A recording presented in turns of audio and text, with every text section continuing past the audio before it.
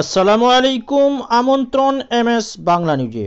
সুপ্রিয় দর্শক, নূপুর শর্মার সমর্থন করার জন্য উদয়পুরের এক দর্জিকে বলি দিয়েছে দুই যুবক। উদয়পুরের এই হত্যাকাণ্ড ইসলাম বিরোধী সমর্থন জানাতে নারাজ একাধিক সংখ্যালঘু সংগঠন। বিস্তৃত জানতে ভিডিওটি শেষ পর্যন্ত দেখুন এবং ভালো লাগলে একটি লাইক দিন। গুস্তাখি রসুল নূপুর শর্মার সমর্থন করার জন্য উদয়পুরের এক দর্জিকে বলি দিয়েছে দুই যুবক। তারপর থেকেই রাজস্থান জুড়ে শুরু হয়েছে দাঙ্গা। অনেক জায়গায় জারি হয়েছে কারফু। উদয়পুর আপাতত ইন্টারনেট পরিষেবা বন্ধ রাখা হয়েছে। এই ঘটনার কয়েক ঘণ্টার মধ্যেই পুলিশ আত্মাই দুইজনকে গ্রেপ্তার করেছে। এই ঘটনা নিয়ে অনেকেই নিন্দা করেছেন। All India Muslim Personal Law Board মঙ্গলবার জানিয়েছে যে, নূপুর শর্মাকে সমর্থন জানানোর জন্য উদয়পুরে ব্যক্তি হত্যা। এই ঘটনাকে সমর্থন করে না তারা। এই ঘটনা ভীষণভাবে একটি ইসলাম বিরোধী ঘটনা।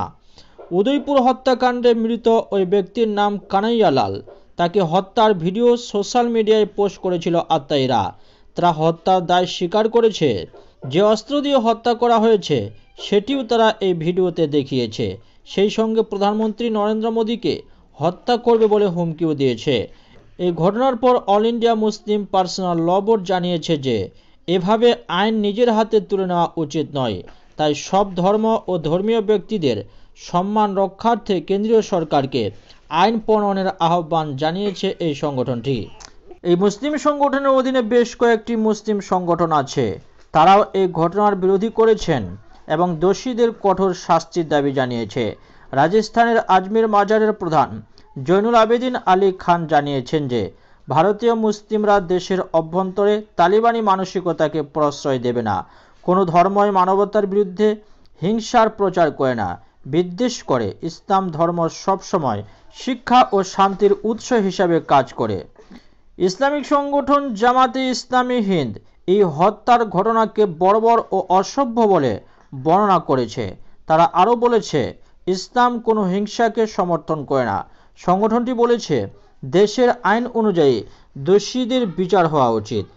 অল ইন্ডিয়া মজলিসে ইত্তেহাদুল মুসলিমিনের প্রধান আসাদুদ্দিন ওয়েসি এই হত্যার সমালোচনা করে বলেছেন যে, কেউ আইন নিজের হাতে তুলে নিতে পারবে না। আমরা রাজ্য সরকারকে সম্ভাব্য কঠোর পদক্ষেপ নেওয়ার দাবি জানাচ্ছি। আইনের শাসন বজায় রাখতে হবে।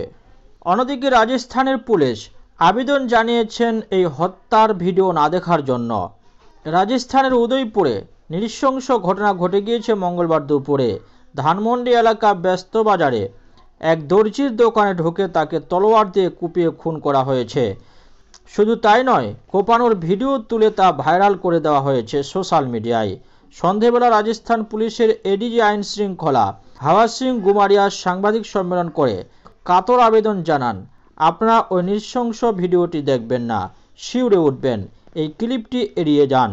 যাকে কুপিয়ে খুন করা হয়েছে, তার নাম কানাইয়া লাল যে দুজন তাকে দোকানে ঢুকে কোপানোর ধরপর থেকে মাথা আলাদা করে দিয়েছে, তাদের নাম মোহাম্মদ রেজওয়ান আনসারি এবং অন্যজনের নাম মোহাম্মদ ভাই। পুলিশ জানিয়েছে, ইতিমধ্যেই ওই দুজনকে গ্রেপ্তার করা হয়েছে। প্রাথমিকভাবে জানা গিয়েছে, এই কানাইয়ালাল কয়েকদিন আগে নূপুর শর্মার সমর্থনে ফেসবুকে পোস্ট করেছিলেন। সেই পোস্ট নিয়ে ডিজিটাল যুদ্ধ চলেছিল। কিন্তু তা যে এমন নৃশংস জায়গায় পৌঁছে যাবে, তা হয়তো অনেকেই আন্দাজ করেননি। প্রাথমিকভাবে মনে করা হচ্ছে, নূপুর শর্মার সমর্থনে পোস্ট করার জন্যই কানাইয়ালালের উপর তলোয়ারের কোপ পড়েছে। যদিও রাজস্থানের মুখ্যমন্ত্রী অশোক গেহলট এই ঘটনার নিন্দা করে দ্রুত পদক্ষেপ করার নির্দেশ দিয়েছেন। তাছাড়া খুন করার পর ওই তলোয়ার নিয়ে দুই যুবক যে ভিডিও বার্তা সোশ্যাল মিডিয়ায় ছড়িয়ে দিয়েছেন তা উস্কানিমূলক এবং সাম্প্রদায়িক সম্প্রীতির ক্ষেত্রে উদ্বেগজনক। সেখানে প্রধানমন্ত্রী নরেন্দ্র মোদীর বিরুদ্ধেও তীব্র আক্রমণ জানানো হয়েছে। সব মিলিয়ে উদয়পুরের ঘটনা মেরুকরণের আবহকে আরও তীব্র করল বলে মত অনেকের। আপডেট এই পর্যন্তই। আসছে আবার আপডেট নিয়ে। ভিডিওটি ভালো লাগলে একটি লাইক দিন এবং চ্যানেলটি সাবস্ক্রাইব করে চ্যানেলের সঙ্গে যুক্ত হয়ে যান। কমেন্টে জানান আপনার মূল্য মতামত। ধন্যবাদ।